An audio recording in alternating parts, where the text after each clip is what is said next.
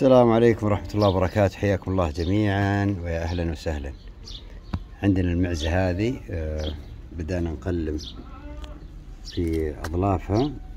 ووجدنا أنه فيه إشكاليات. طبعا آثار جروح آثار دماء آثار تعفنات. آه، صراحة آه، يعني الوضع مزعج ومفروض أيضا أن إحنا ما نشتغل بجاونتي آه، لكن شوفوا يعني نتائج الإهمال كيف أصبحت القدم. لاحظون يعني هذا شكلها الطبيعي في عندها زيادة في المنطقة هذه. تمام؟ شوفوا هذه الأصلية يفترض أنها تكون كذا. الزيادة اللي هنا مع الالتواء اللي موجود هنا راح يعمل لها مشكلة آه أيضا ممكن تأثر على سيرها مستقبلا. البعض منا قد يستعجل النتائج فيحاول إنه يقلم ويشد عليها في التقليم. آه، ممكن تجيب لها جروح تجيب لها مشاكل.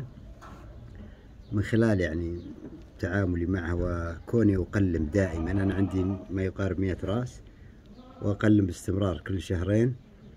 وجدت أنه التقليم الغير جائر تمام؟ يعني تقص مثلا على الحد هذا تتركها مثلا شهر على ما تصلح مشيتها بشكل جيد وكذا بعدهم مثلا بشهر أو شهرين ترجع تقص مرة ثانية بس إنه تواظب على عملية القص. بإذن الله راح تتحسن وترجع زي هذه. بإذن الله. يعني خصوصا إذا كانت لسه في البدايات مثلا أبو سنة سنتين يعني فيه إمكانية. لكن كانت طويلة وقديمة آه، صراحة إنها مشكلة.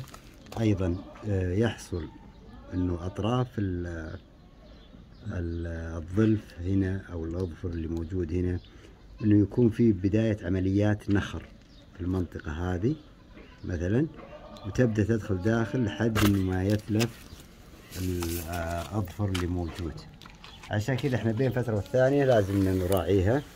إحنا اشتغلنا على هذه. تشوفون وضعها جيد. تمام؟ أفضل من السابقة لكن الآن راح نشوف الأمامية راح تجد أن وضعها مزري.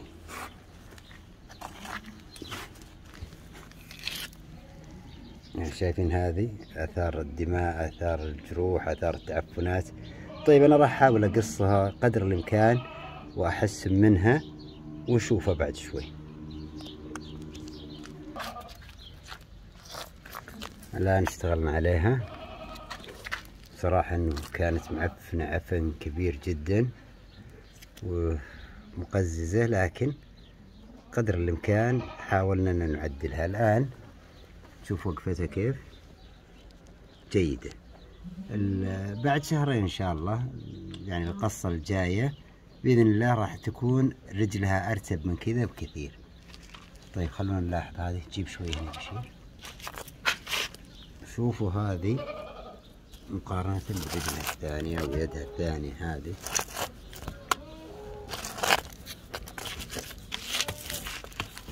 أيوه.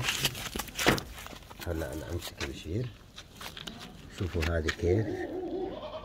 طويلة جدا. طيب لو قلبناها تلاحظون إنه ملتف ال- الأظفر ملتف من هنا. أنا كنت عند أحد الإخوان في زيارة.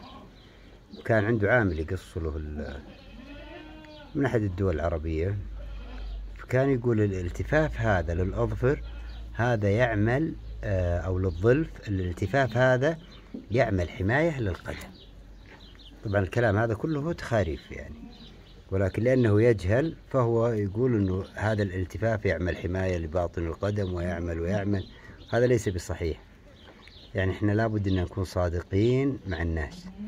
إذا كنت لا أعلم أقول لا أعلم. ما ينفع إنه الشخص يقعد يتكلم كذا. حتى إخواننا الكرام اللي يربون الماشية يا ليت إذا شافوا الأمر هذا أن ينتبهوا. طيب بعد التقليم هذا راح أقلمه وأصورها لكم مرة ثانية. آه بعد التقليم لو فيه أي جرح أو شبهة تعفنات على طول راح نضعها في محلول إما ديتول مع ماء أو أنا لا أنصح بالمبيدات ال- الجرة وخلافه وإنما بالمعقمات. ديتول ممكن أن تخفف لها ماء وصابون إذا غلبت الروم يعني آه، أي شيء معقم ومنظف ماء وملح أي شيء يكون جيد. لكن المبيدات القاتلة هذه السامة آه، ما أنصح بها صراحة. آه هذه آه، لحم ودم يعني مثل بني آدم. ممكن الله يكفينا وإياكم الشر. يأتيها سرطانات يأتيها مشاكل يأتيها آه بسبب الجهل والإفراط عندنا في استخدام المبيدات وقد يكون هناك جروح وإحنا ما نعلم. لذلك لابد أن ننتبه. طيب راح نقص هذه ونشوف كيف تصبح. طيب الآن نشوف الفرق بين هذا والثاني اللي بجانب شايفين كيف الفرق؟ أيضا في هنا في الزاوية بداية تعفنات. تمام؟ احتمال أنها تؤثر على الظرف كاملا. لذلك هذا لازم يعقم. بما أنك حتعقم واحد إذا عقم الأربعة كاملا أفضل. بعد القص أصبحت بهذا الشكل. تلاحظون أن الذباب على طول يجتمع عليها لوجود العفن صراحة. ورائحة مزعجة جدا. لابد أنه تكون لابس الكمام.